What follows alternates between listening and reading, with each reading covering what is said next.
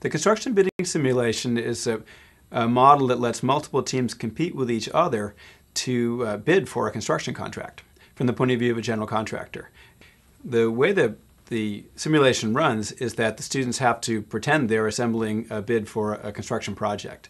And the way that works in, in real life is you have to figure out how big is the building, what's the building made of, and then collect all these bids from various trades like concrete and walls and windows and those kind of things. And so uh, we simulate the process of, of having people figure out the quantities, how much steel, how much concrete, what kind of surface area, and then receiving competitive bids as they would come in uh, in the real world towards a, a time certain on a day when the bid is due ultimately the conversation is really in the debrief.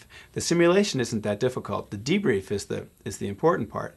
In the debrief, you can talk about things ranging from how did it feel, which usually is pretty tense. So the room gets hot and you'll walk around and it's just like in real life in the war room on a bidding situation where everybody's got their tie loosened and took their sweater off and they're trying to figure this stuff out.